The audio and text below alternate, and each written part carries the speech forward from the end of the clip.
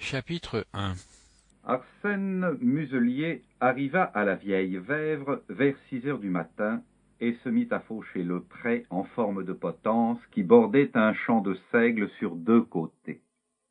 La vieille Vèvre était une pièce de terre d'environ un hectare, découpée dans la forêt à cinq cents mètres de la lisière. Au pied des grands arbres, les ronciers ourlaient d'une ligne sombre les quatre côtés du rectangle ainsi creusé. Le pré appartenait aux museliers et le champ aux maindeurs, leurs petits cousins avec lesquels ils étaient en froid depuis trois générations. La brouille entre les deux familles était survenue quelques années après la mort de l'ancêtre commun qui avait essarté ce morceau de forêt sous le deuxième empire. Arsène, un garçon de vingt-trois ans, petit et puissamment charpenté, fauchait sans lever le nez, car la besogne exigeait une attention soutenue. Le pré manquait de pente, et le fond argileux y retenait l'eau pendant la plus grande partie de l'année. À la belle saison, le terrain semé de trous avait le relief et la consistance d'une éponge sèche, et la faucheuse mécanique s'y cassait les dents.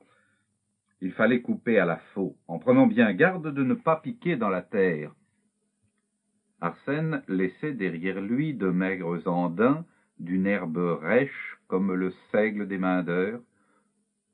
Le foin valait à peine le temps qu'on prenait à le récolter, et il eût été d'un meilleur rapport de faire du seigle à la place ou toute autre culture.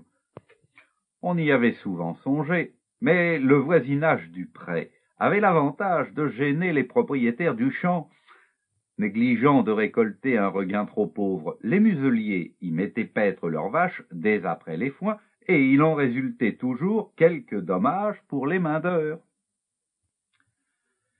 Vers huit heures du matin, Arsène aiguisait sa faux lorsqu'il aperçut à quelques pas de lui une vipère glissant sur l'herbe rase entre deux andins. Un frisson lui passa sur l'échine et son cœur se serra d'une légère angoisse comme il lui arrivait parfois dans les bois lorsqu'il entendait le bruit d'un remuement dans les branches profondes d'un buisson. À l'âge de cinq ans, un jour qu'il cueillait du muguet, il avait mis la main sur un serpent et l'aventure lui avait laissé l'horreur des reptiles. La vipère filait comme un trait, le corps à peine ondulant, sa tête plate immobile, surveillant le garçon de son petit œil, au regard prompt comme celui d'un oiseau. Plein de haine et d'indignation, Arsène avait lâché sa pierre à aiguiser. La faux bien en main, il fit un bond en avant et d'un mouvement court et précis stocka au ras de l'herbe. La bête avait vu venir le coup et s'était mise hors de portée. Lorsqu'il releva la faux, elle s'était déjà coulée sous un andin. Le gosier serré, il guetta l'endroit où elle avait disparu, l'imaginant tapis, attentif, prêt à se détendre, et lui semblant qu'il vit briller le petit œil au regard froid dardé d'entre les plis de peau dont la pensée lui faisait mal.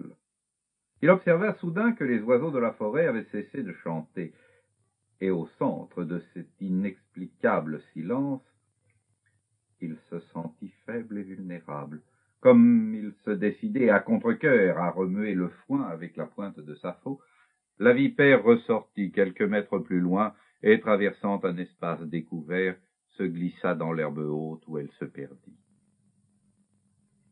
Arsène, qui n'avait plus risqué un pas à sa poursuite, s'aperçut alors que ses mains étaient crispées sur les poignets de sa faux et que ses genoux tremblaient. Humilié, il se défendit en lui-même d'avoir eu peur et se souvint que la veille encore, quand le taureau s'était échappé dans la cour de la ferme, il l'avait manœuvré avec un sang-froid et une hardiesse qu'avait admiré son frère aîné. Il reprit sa besogne, mais sans s'y intéresser, attentif au silence et à la solitude. Il sentait le poids de la forêt d'autour l'inertie hostile de cette vaste pénombre recélant dans ses assises un grouillement nuiteux et sournois. Sous la haie sauvage bordant la vieille vèvre, il cherchait malgré lui des regards de bêtes froides et piantes à l'abri du roncier, du hou et de l'épine noire. Le silence persistant des oiseaux finit par l'inquiéter davantage que la sensation d'une présence nombreuse et patiente il se résolut à aller en chercher l'explication dans la forêt même, Choisissant à dessein l'endroit où avait disparu la vipère, il enfila un sentier qui menait à la fontaine du Solar où il se promit de boire un coup d'eau fraîche. La rosée brillait d'un éclat d'argent dans la pénombre du sous-bois, mais le silence insolite à cette heure matinale donnait l'illusion d'un crépuscule après l'orage. Arsène, réconcilié avec la forêt, en respirait l'odeur avec allégresse. Sans oublier tout à fait le sentiment d'effroi qui l'avait saisi dans le pré, il se sentait presque délivré. Au bord du sentier, dans les fougères et les herbes folles, le pas de ses sabots dérangeait les bêtes peureuses dont la présence se révélait par des bruissements de feuilles et des frémissements qui se propageaient dans la frêle végétation et en secouaient la rosée.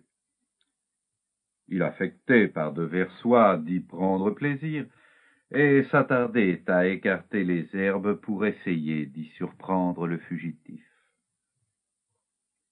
Il marchait depuis quelques minutes, et il vit presque sans émoi déboucher une vipère sur un croisement de sentiers. Plus longue et plus fine que celle du pré, elle rampait sans hâte, le col dressé, l'allure provocante. Elle tourna vers lui sa tête plate comme pour le toiser, et Arsène, en découvrant sous la mâchoire de la bête un coin de peau tendre et molle, sentit renaître en lui une indignation panique.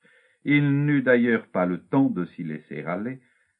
Derrière la vipère apparut une fille jeune, d'un corps robuste, d'une démarche fière.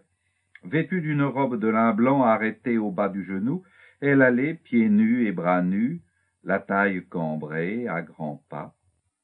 Son profil bronzé avait un relief et une beauté un peu mâle. Sur ses cheveux très noirs, relevés en couronne, était posée une double torsade en argent figurant un mince serpent dont la tête dressée tenait en sa mâchoire une grosse pierre ovale d'un rouge limpide. D'après les portraits qu'on lui en avait tracés et qu'il avait cru jusqu'alors de fantaisie, Arsène reconnut la vouivre. Vouivre, en patois de Franche-Comté, est l'équivalent du vieux mot français guivre, qui signifie serpent et qui est resté dans la langue du blason. La vouivre des campagnes jurassiennes, c'est à proprement parler la jeune fille au serpent. Elle représente à elle seule toute la mythologie comtoise, si l'on veut bien négliger la bête faramine, monstre certainement très horrifique, mais dont la forme et l'activité sont laissées aux caprices de l'imagination. Sur la vouivre, on possède des références solides, des témoignages clairs, concordants. Dryade et naïade, indifférentes aux travaux des hommes, elle parcourt les monts et les plaines du Jura, se baignant aux rivières, aux torrents, aux lacs, aux étangs.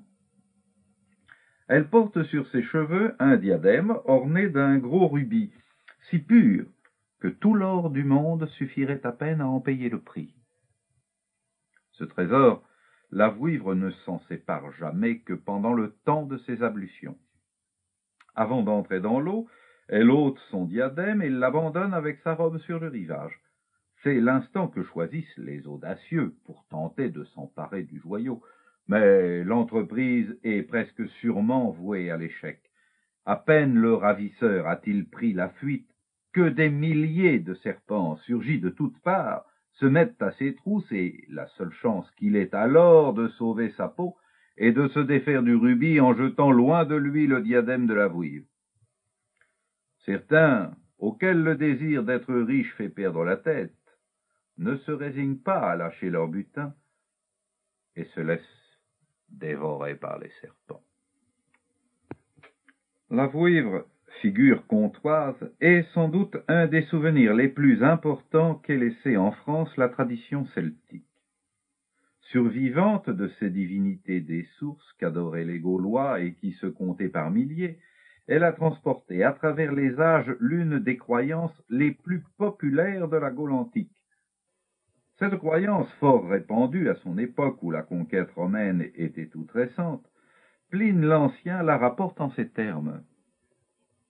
En outre, il est une espèce d'œuf en grand renom dans les Gaules et dont les Grecs n'ont pas parlé. En été, des myriades de serpents se rassemblent et s'enlacent. Collés les uns aux autres par leur bave et par l'écume qui transpire de leur corps, ils façonnent une boule appelée œuf de serpent. Les druides disent que cet œuf est soutenu en l'air par les sifflements des reptiles et qu'il faut le recevoir dans un manteau avant qu'il ait touché terre. En outre, le ravisseur doit s'enfuir à cheval car les serpents le poursuivent jusqu'à ce qu'il ait mis une rivière entre eux et lui. Cet œuf est reconnaissable à ce qu'il flotte sur l'eau, même attaché à un morceau d'or. J'ai vu moi-même un de ces œufs qui était de la grosseur d'une moyenne pomme ronde. Extrait d'Historia Naturalis. Tel que le raconte Pline l'Ancien, la légende apparaît à peine transposée dans celle de la vouivre. Le talisman, qui avait chez les Gaulois la réputation de faire merveille dans les procès, a pris de la valeur avec le temps. On pourrait d'ailleurs, sans grand risque d'erreur, expliquer comment l'œuf du serpent s'est changé en rubis. La transformation s'est très vraisemblablement opérée depuis l'époque où l'industrie de la taille des pierres précieuses s'est installé dans les cités et les bourgades du Haut-Jura.